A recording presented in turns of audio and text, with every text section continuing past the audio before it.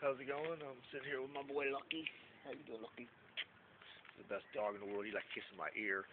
Kind of, kind of irritating sometimes. Um,